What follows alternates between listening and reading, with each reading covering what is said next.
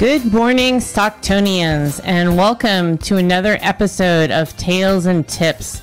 This morning, I have with me Shifra Steele of Northern California Weimaraner Rescue, and we're trying something different today. We are back on the train of doing animal talks, and we're trying a remote guest. So we are having some audio challenges with that. So our program may be a little slower than typical, so please be patient with us.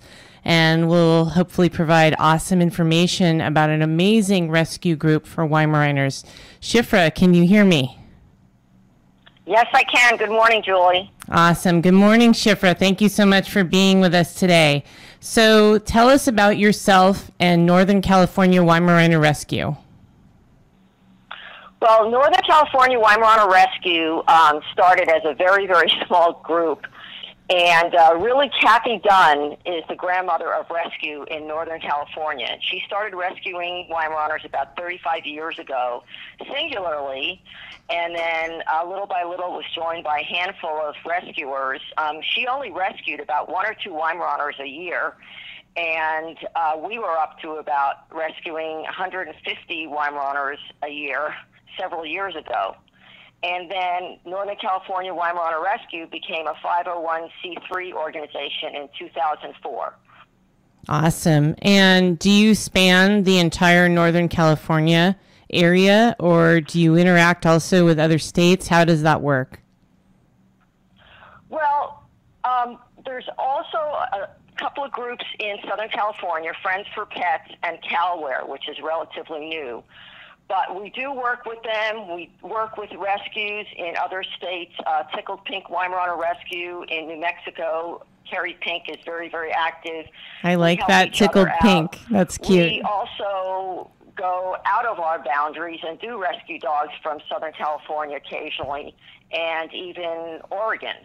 Awesome. And can you back up a little bit and talk about how you became personally involved with this? I was given a Weimaraner when I was in high school, Shadow. I had a part time job in high school and I worked for a plumber who raised German short hair pointers.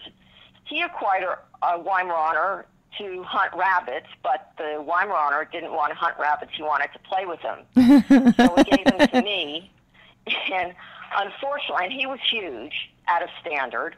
Um, and unfortunately, I had to rehome him as well because my parents were afraid of him. So I found a very, very nice home for him, but he was an awesome dog, and I knew that was my dog for life. When I moved to California after high school, I tried to find a Weimaraner, and I couldn't find one. And so I bought a Vizsla, after he died, I worked for a veterinarian and I worked with um, a kid who was involved in showing dogs and raised Pharaoh hounds. He went to the Golden Gate show and found a breeder, and that's how I got my first show dog, Remy, Champion Top Hat store in Gray, and that was in 1989. So, of course, Weimaraners were my dog for life. All right. And you mentioned earlier that your first Weimaraner was bigger than the standard. Can you talk about how big these dogs are and a little bit about their personality, what makes them unique? Sure. So, uh, males and females differ quite a bit in size, or they can. So, the standard for a Weimaraner bitch, as we say in the dog show world, is 23 to 25 inches at the withers, which is the shoulder. And in our standard, they're allowed to go an inch over or under and still be in standard. For the males, that is 25 to 27 inches with an inch allowed over and under. So in our standard, if you look at the smallest female, that would be 22 inches, and the largest, 28 inches. And that's quite a big difference between male and female their personality is they're just amazing. They want to do everything that you do. They want to be everywhere you are, even if it's the bathroom. No place is too small. They have no body awareness. They just want to be all over you and laying on your feet or on your shoulders or laying on your stomach. They're uh, very, very people oriented, and they were bred that way by the Germans. The Germans wanted a dog that would hunt very closely with them.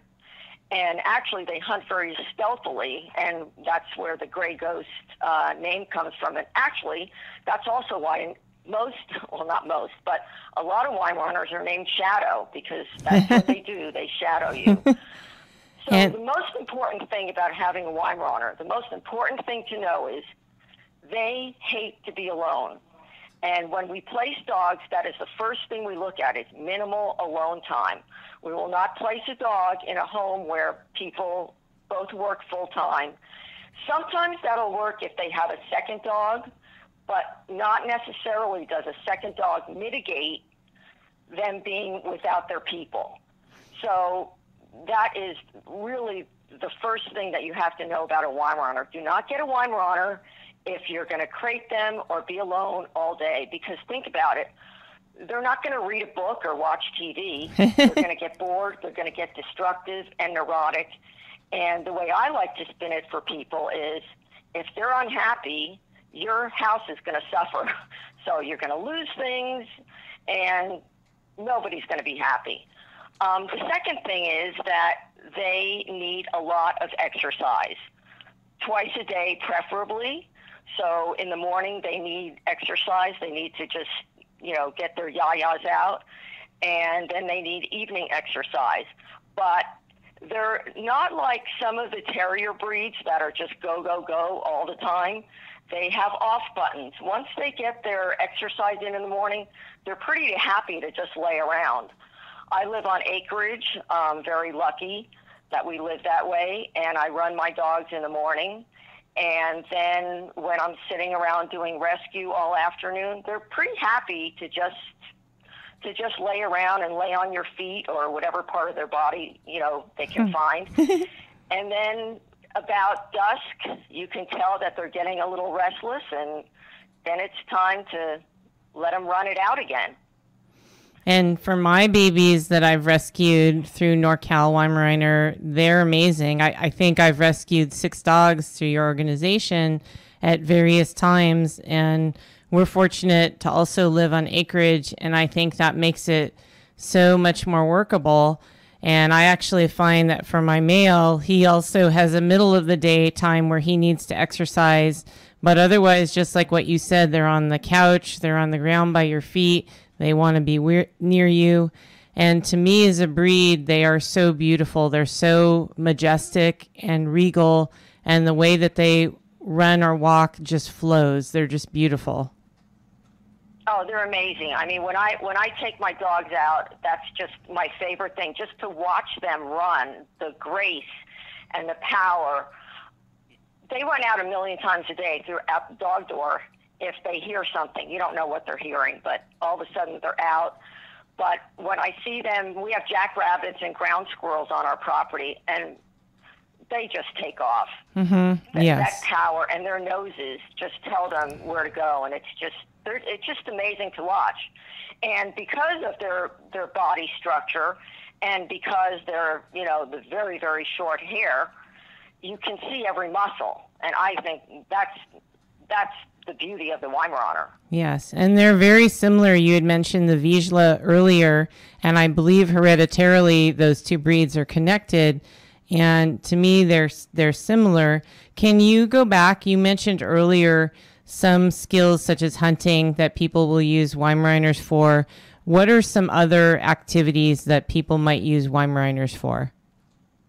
Oh, they're good at everything my uh, Mackenzie has about 19 titles in various areas. Um, agility, they're amazing at agility. They are amazing at nose work. I do barn hunt with uh, two of my four kids.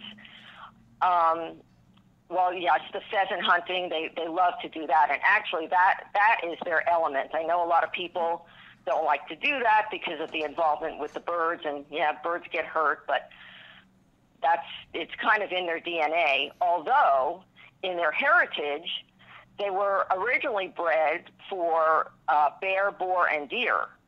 Oh, I didn't know that. Uh, bigger dogs then in Germany, and then they they were downsized in this country to hunt upland birds. So in that process, they were downsized as well. So they're not as big as as they were when they were bred in Germany. But when I say that the hunting is in their DNA, I mean you take them out to the field and they hunt birds, and you can just see that come alive. Yes, I've seen that with my own dogs who I don't hunt with. If they see a bird, especially my male, will point, which is amazing because it's not something that we've ever trained for at all. Right. It just it just comes out. The other thing that comes out, which is really amazing to watch too, if you have multiple dogs, in the field there's something that's called honoring, and so the bird, the dog that is on point, will be braced with another dog. So the dog coming up behind that sees that dog on point. Some naturally, I don't, I don't even know how you would teach it. My dogs do it naturally, but they they stand back. They are honoring the other dog's point.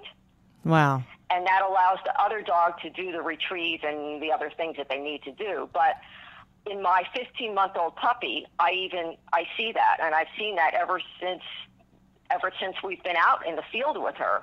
She just will naturally, if the first dog is on point, her mother's on point, or her grandfather's on point, she will just stand back, and then all of a sudden they know when to run and and they go for it, and it's just it's just amazing. Wow. So they have the pecking order established, and that carries through to pointing and retrieving. I didn't realize that.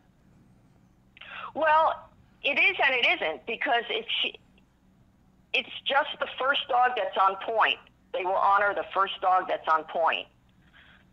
Okay. So that could be that could be Meadow, the baby. Okay. If right. she's the first one that sees something, everybody else will honor that. Okay.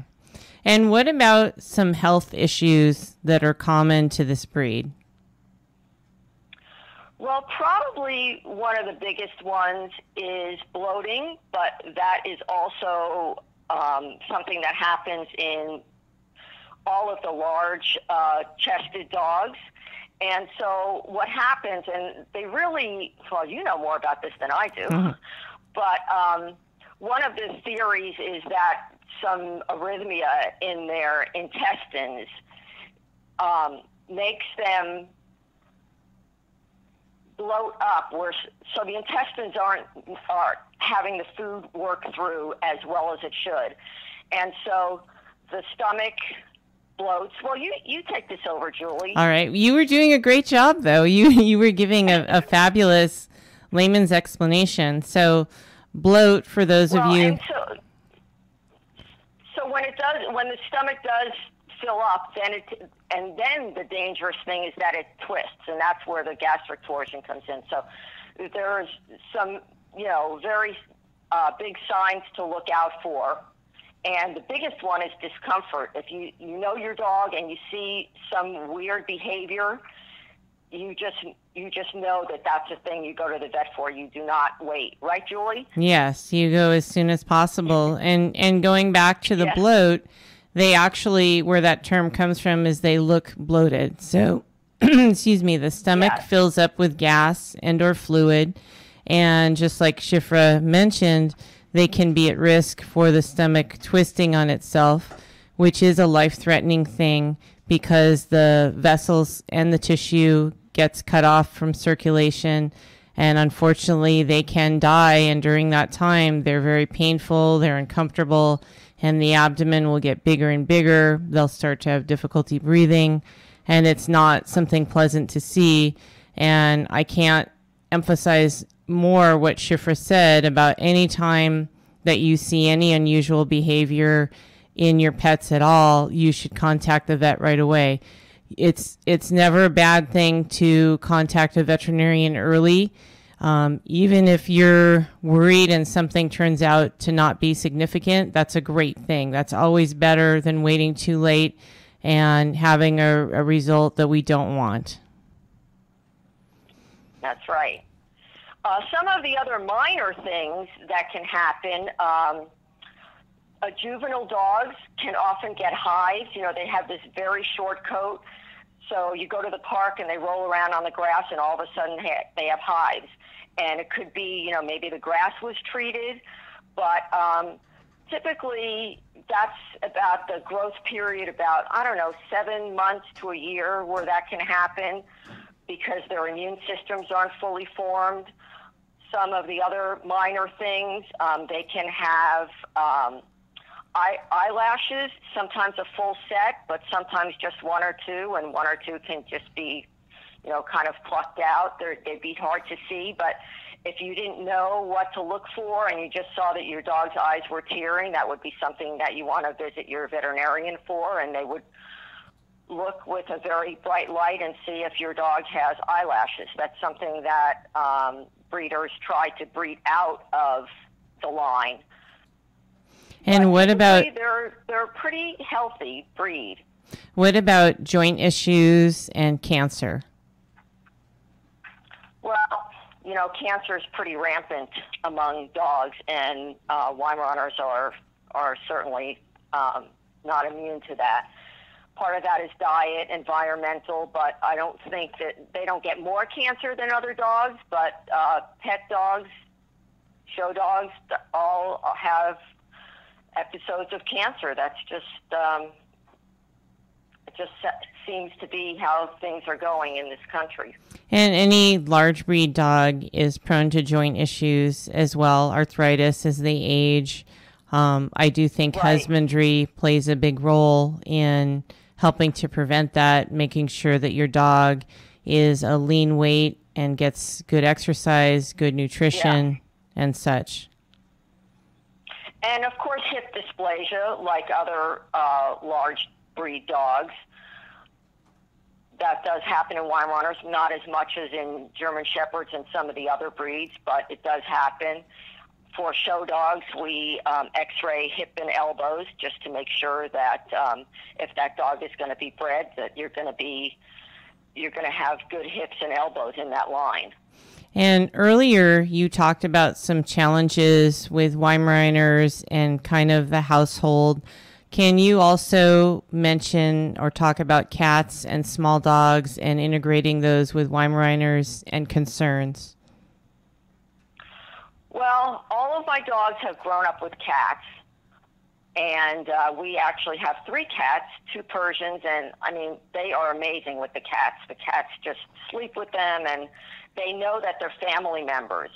But the issue is when we have rescue dogs, there we we don't know their history. Most of the dogs that we get are strays from the shelter. So we have no idea of their history. The challenge is placing them because um, if somebody has a cat, we don't know if they're a cat killer. I will not place a Weimaraner in a home with a cat unless, for some reason, we can get a a foster home that agrees to have their cat be a uh, guinea pig and wants to try it. But um, I won't place a dog in a home where there's a cat if I don't know the history of the dog. And like I said, most times we don't. Small dogs is the same is uh, same issue, and kids same issue. We get these dogs with unknown histories, and I won't take a chance to say that they can be with small children, small dogs, or cats. But they can be integrated. Um, if it seems like it's a pretty gentle dog, not a lot of prey drive, and some of these some of these evaluations are done, you know, at the shelter, and then we also have our own evaluators that um, will go to a shelter and evaluate a dog. But um, they can be integrated. Most people don't want to try that I've had dogs that um, I've integrated with cats, and it just it takes some patience. It can be done, but like I said, most of the time I don't push that issue unless I know and that I'm, the dog I'm, has a good history with small small dogs and cats. I'm glad you mentioned about children too, um, because it is a worry, and and no one including anyone from the rescue groups or anyone who's adopting wants to have a bad outcome. We want to make sure that when dogs are placed, that it's positive and it's a win-win for everyone. Yeah, I agree. I think that that that's the prime directive here. And then what I tell people, we often get these people and they want, you know, they want a young girl, one to four, and and maybe I have like a boy and he's six, but I know that he's good with children. And I say to people, well, your your most important thing is to not have these parameters that you've set for yourself, but your your the big parameter should be I want a dog that will, is good with my kids. Yes, and a good fit. So yes. I will often ask people to think out of the box that way because that should be the most important thing that they're thinking about, not that they want a petite female. and talk about other breeds that you work with. So I, I know that I've seen on your rescue page that you might have mixes Will you also foster completely different breeds, labs, or other other types of dogs? You know, typically we we do do the mixes, but really not the other breeds. Sometimes we'll have a courtesy listing. We've had uh, Doberman Weimaraner mixes, Lab Weim mixes, but aside from courtesy listings for other breeds, we we really pretty much stick to Weimaraners and what we say is if it looks like a Weimaraner, acts like a Weimaraner, then we're going to treat it like a Weimaraner. Awesome. In and, terms of, you know, us being able to place and foster. And I know earlier you mentioned working with shelters. What about working with other rescue groups, Weimaraner or non-Weimaraner? We've had private rescues that have contacted us that uh, they found a Weimaraner and you know, want to surrender that Weimaraner to us. And that works out really, really well. We've had other shelters and we work with with all kinds of organizations. And as shelters, private rescues and yeah. As someone that that is high up in in the rescue group, the Northern California Weimaraner Rescue. Can you talk about some key things that will help people to not be in a situation where a dog needs to be rescued? Well, one of the biggest things that happen is, um, and especially a few years ago, we were getting a lot of dogs because people were having to uh, move into apartments, losing their jobs, that's the biggest reason why uh, dogs have to be rehomed is and unfortunately it, in those cases it's not the people's fault. Then there's the lifestyle changes. Uh, you know we got this weimaraner and we got married and now we're having kids and people think that's a reason enough to give up their dog because they're having kids. It's sad. That's the second biggest reason that um, that we get dogs that need to be rehomed and then there's the occasional, we had a dog, Alonza, uh, two years ago, whose owner was shot and killed.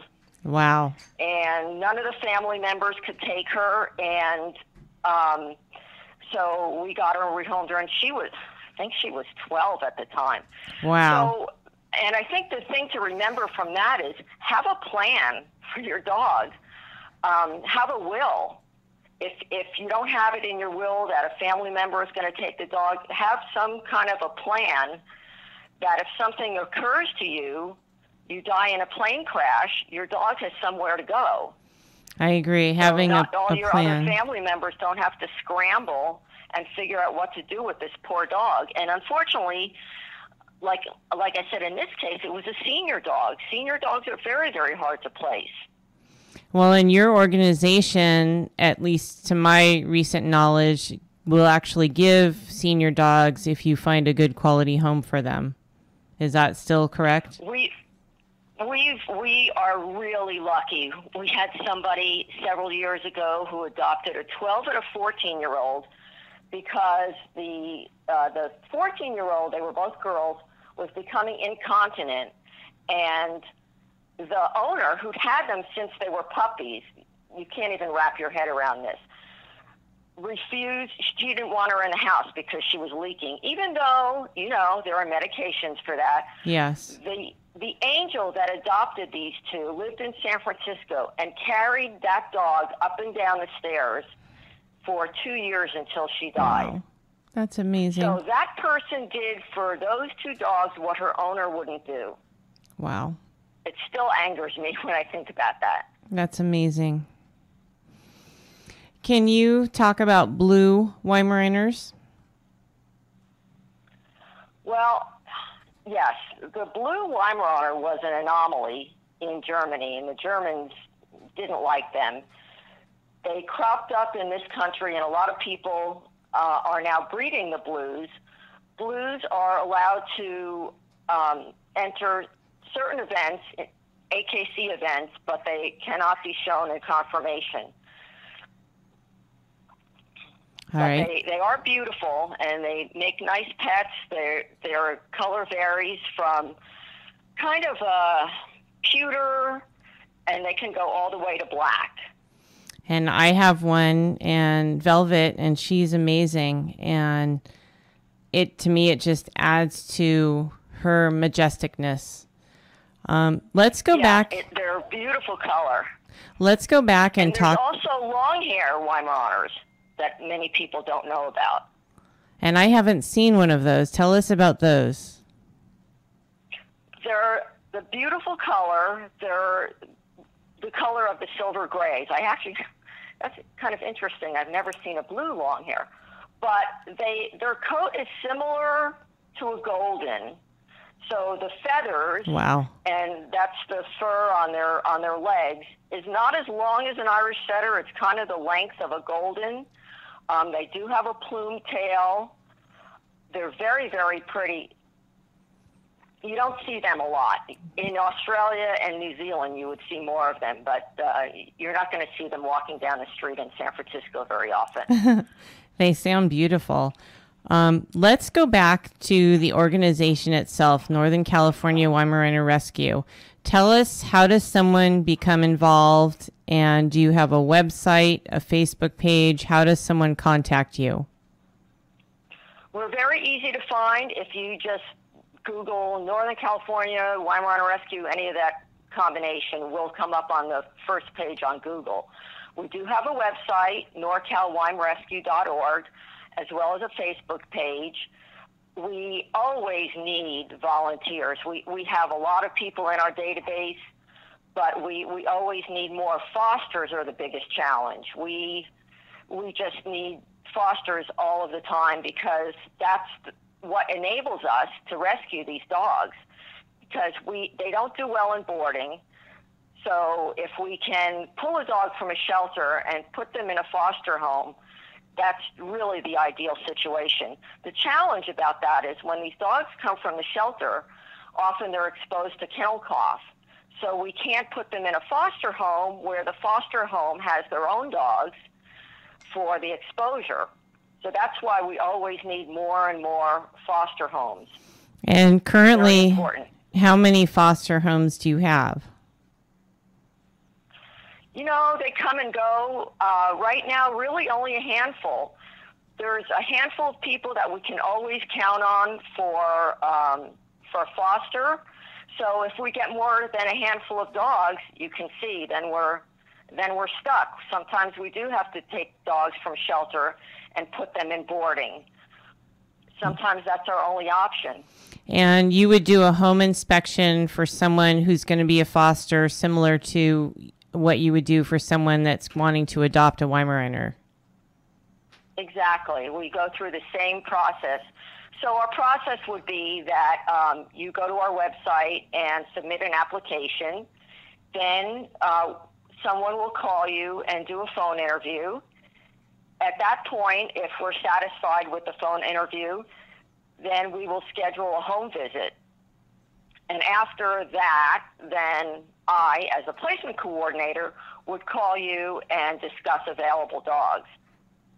Okay. And those available dogs can be found on your website. Yes and no. Uh, sometimes they are, but our list of applicants is so long, and right now we're getting so few dogs that some dogs never make it to the website. Wow, that's a, a good that, problem. That's coming in, and I have a home that I know is perfect, and so that's why we tell people don't wait until you see that dog to put in an application. Put in the application now. Then you're in the queue.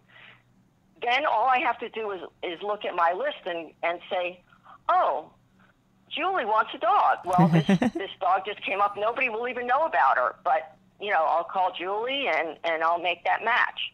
Awesome. Awesome. And talk about some of your fundraising events. So, our biggest event is the Wine Country Gala, which was started, this is our 14th year. Wow. And that gala will be October 8th in Petaluma at Flying Cloud Ranch. When That's a new started, location. We had just become 501c3 in 2004, and we wanted to put together a fundraiser. Michael, my husband, who is the president of NCWR, we had been to a fundraiser in St. Helena for a no-kill dog shelter, and it was a great event. And they had silent live auction, and there were many things that we, we liked about the event. What we thought was missing from the event was that there were no dogs there to look at. So we wanted to plan a similar event, but that's how we started the Parade of Rescue. We wanted to have rescue dogs there for people to hear their heartwarming stories and so I we we actually have them do a little parade and and we tell a little bit about the dog and then they get a medallion. It's it's really great and nobody leaves dry eyed, so it, it's really fun. But the rest of the event we have uh, music and um, Kathy Dunn, who's actually what I mentioned before, the grandmother of the breed, she's still very involved in rescue and she does the catering.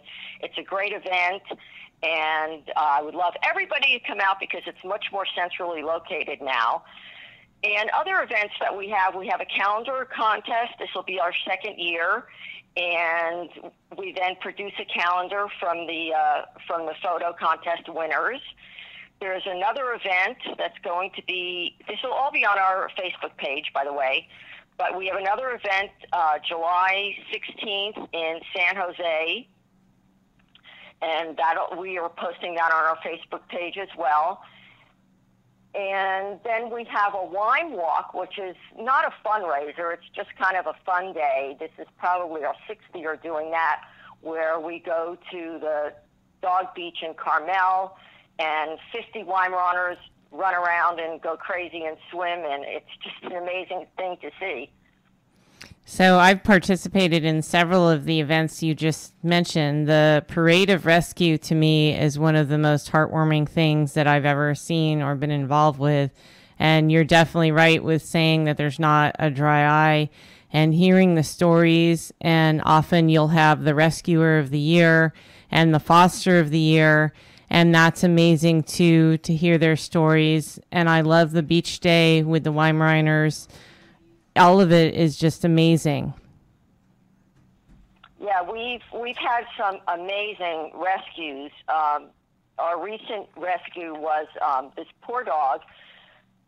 He, he was a puppy, only three months old. His name is Finn, and he was found as a stray.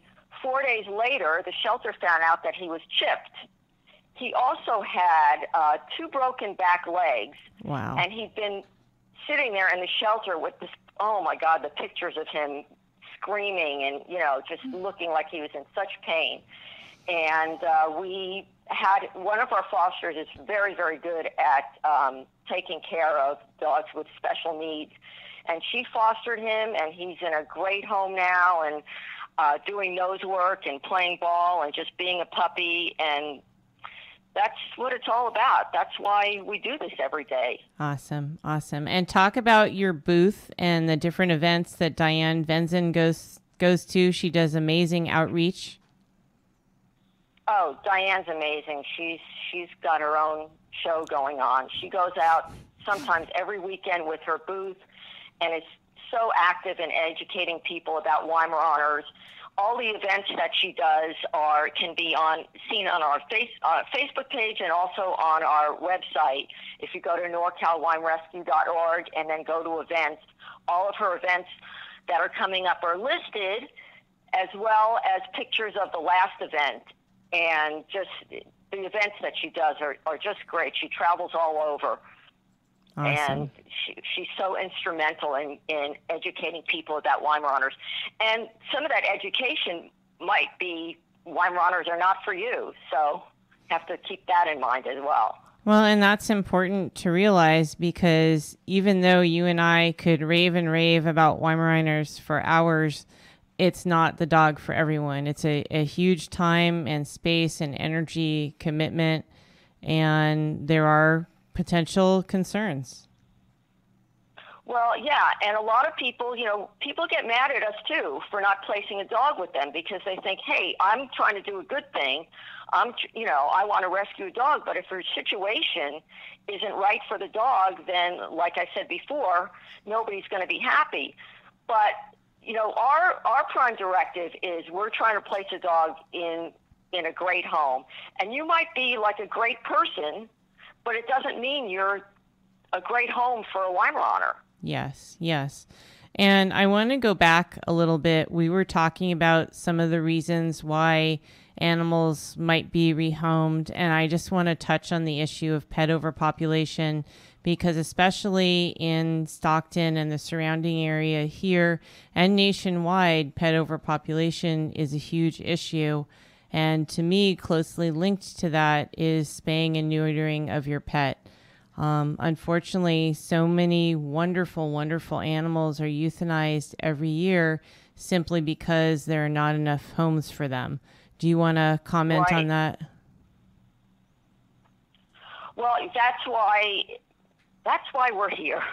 We we want to make sure that these Weimaraners that we rescue get spayed and neutered. It's funny we've we've even had people come to us and say we want to rescue a Weimaraner, but we want it to be intact so we can we can breed her.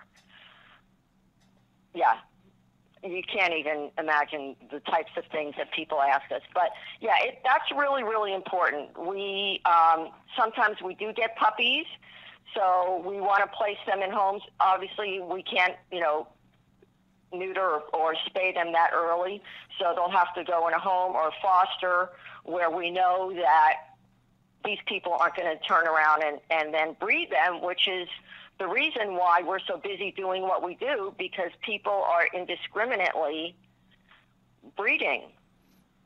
Yes, and That's and a, why all the rescues and all the shelters are so busy.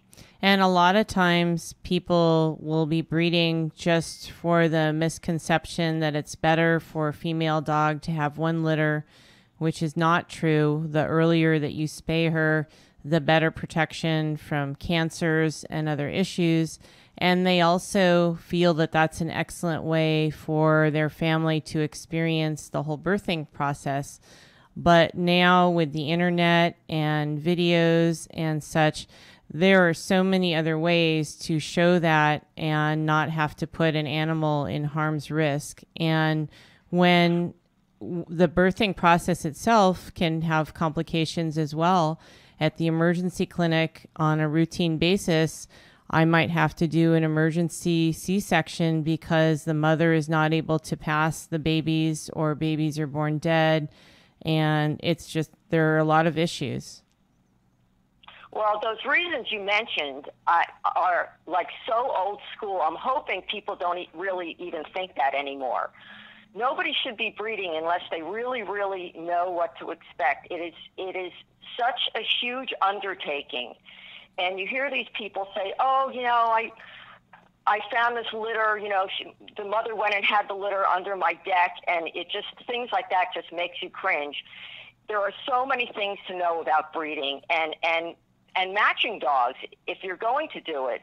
Not just like you have a Weimaraner, I have a Weimaraner, let's make Weimaraner puppies. You have no idea what you're getting into. Are you breeding hip dysplasia? Are you breeding full dentition? I mean, the, the the people that have these um, conceptions about why they're breeding, they're just they need to be more educated. Yes, I think education is the key. and talking to your veterinarian. Your veterinarian can provide a wealth of information. Your veterinarian is there to help you. And I'm sure every veterinarian would agree that we want to prevent problems and ensure longevity for pets and happiness for people as long as possible. Well, we have something in uh, in our Weimaraner ethics, and which says that the only reason to breed a Weimaraner is to improve the breed. That means you have a stellar example of the breed to pass on the genes and make sure that Weimaraners stay Weimaraners. If if you're not doing that, then then don't breed. And I wish that that everyone who wanted to breed a dog had that intention um, I still feel that people don't realize the number of animals in our area and beyond that are euthanized simply because there are not enough homes. And we're talking about healthy, wonderful, sweet, loving animals. Right. And if you think about it, when we were rescuing 150 Weimaraners in Northern California alone for a breed that most people haven't even heard of, that's really astounding if you think of the numbers. Yes, yes. And in our area, we are flooded with chihuahuas and pit bulls, and the shelter is full of them. They're sometimes roaming the streets, and it's just a big issue, and yet people continue to breed them. Well, and that's it's so ridiculous. It just, uh, I don't even know if I want to go there, but you know, thousands of pit bulls and chihuahuas are being euthanized every every week. No, it's true. And people, I live in Lake County, and that's a huge problem up here. People breeding pit bulls, just you know, just churning them out, and and they're being euthanized just as quickly. Let's go back and and touch on some good husbandry practices. Um, talk to me about your feeling on microchips versus tattoo eh, or both together.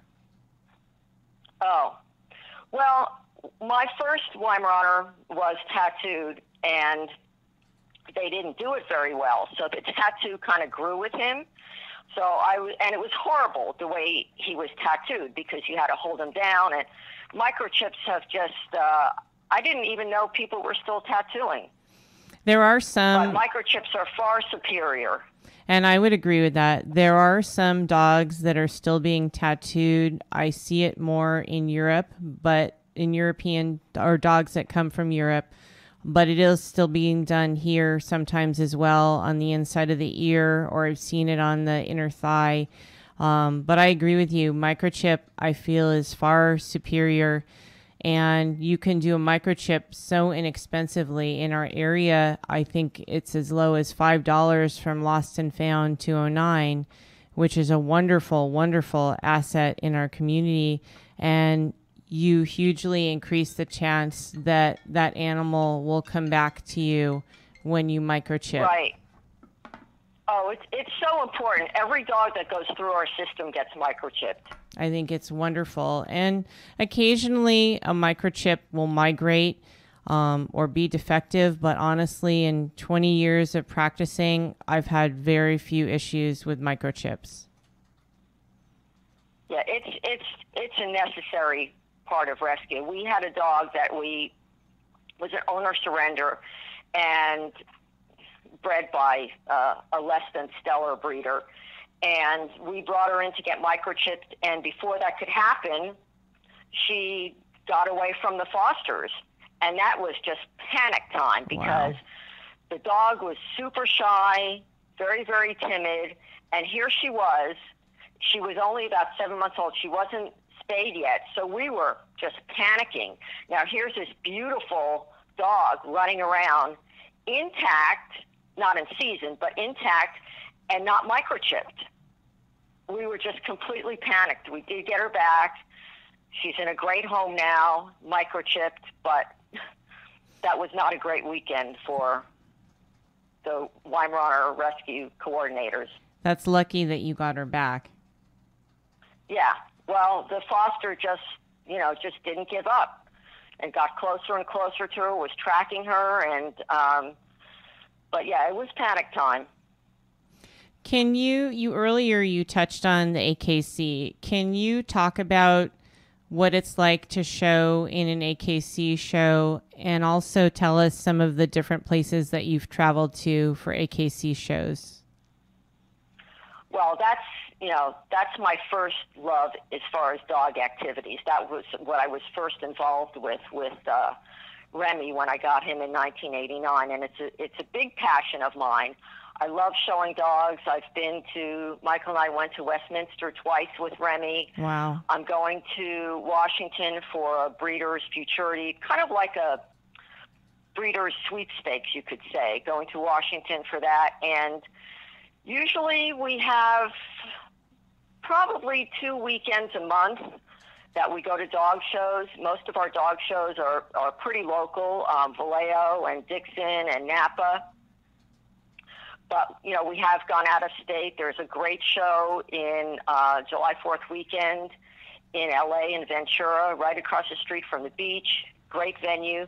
Lots of dog shopping. And what I love about dog shows, other than showing, is that is the shopping, of course.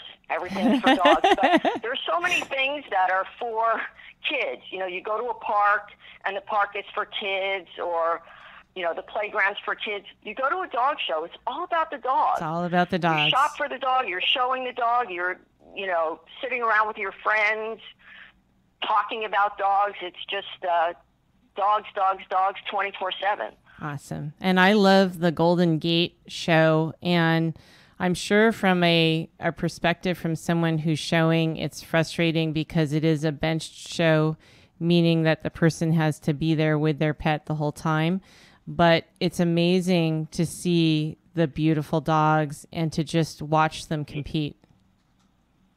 Yeah, it's a love hate relationship with that show because because you know you go there and you you uh, decorate your bench and and that's fun. But about the second day, your dogs are looking at you like, why are we still here? but it is fun. You know, it's fun to answer questions, and that's good shopping too but um, the dogs love it. We we usually we don't have them in crates. We take them off the bench, and you know they're just kind of standing around with us, getting admired. It's kind of like the Weimaraner photo booth. People are just taking photos like all day with your dog, so it's it's really fun. But you know, there's there's just nothing like showing your own dog and just being you know so proud of how your dog is behaving and how they look in the ring and it's just it's just a super fun thing to do with your dog. All right. And as we're winding up, can you go ahead and give your website information again and the gala information and how people can get tickets? Okay, so the we have a Facebook page, Northern California Weimaraner Rescue. The website is norcalweimrescue.org. If you go to our website, you'll also see a page called Gala. Click on that, and um, you'll be directed to how to buy tickets through PayPal. They're actually not tickets; it's it's a reservation. Once you buy the ticket, we put your name on the list. But I encourage people to come out. You can bring your dog. Leash dogs are welcome. We've had as many as probably 75 dogs at one time there. And they don't have to be Weimaraners. They can be other types of dogs too. Yes, we've had Chihuahuas. We had a Bulldog, uh, Vizsla. So other dogs are, we, we don't discriminate. Other dogs are welcome. And when is they're behaved. When is the gala again, and how much is it to go, and where is it? The uh, if you make your reservation ahead of time, it's um, thirty-five dollars. It's forty dollars if you're buying tickets the day of at the door. It's Flying Cloud Ranch in Petaluma, and it's twelve to four. A lot of fun, live music, hors d'oeuvres, wine tasting. What's the date? And a si- silent live auction. What's the date of the event? Oh, I'm sorry. It's October 8th. Awesome. Awesome. And is there anything more that you'd like to add? Well, yes, a plea for volunteers. We really, really, there's two areas that we are always uh, looking for volunteers. As I mentioned, the fosters, we really need fosters. If people think that they could foster, some of the sh- uh, fosters are very short term. As I mentioned, I often have a home for the dog. We just need a place to park them for maybe a couple of days sometimes. We need uh, transporters. We're always in need of transporters, especially along uh, nine, going south and north on 99. All right. We always need people to do home visits. That's another really hard um, job that sometimes can muck up the works because we're trying to get somebody approved so that we can place a dog with them, but we can't find a volunteer some places are, you know, out of out of the way, and we know we're not going to have a lot of volunteers. But the more volunteers we have, the the speedier we can, um, a speedier process we can have in in accepting applications. Awesome, and I'm sure financial contributions are always welcome. Do you still have items for sale through CafePress? We really, really don't. We just uh, haven't kept that up. So sorry about that. Maybe that's something we, we have to think about. But we will have our calendars available for sale awesome. at the end of the year. Awesome. Awesome.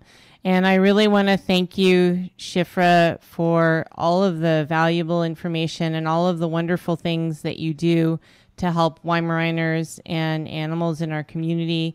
Thank you for for this interview today and I'm looking at my notes and I'm like, oh, I could have talked for another hour. So maybe we can do it again sometime. Maybe we can do it again. And I just want to, in closing, before we wind up, I want to give a shout out to All Creatures Emergency Clinic and also to remind everyone that the Voice of Stockton is your radio station. And please support us. We are still having our Tower Up fundraisers every other Thursday now at Channel Brewing and our radio station needs help so that we can represent you. I am the voice of Stockton. You are the voice of Stockton. Thank you. Have a great day.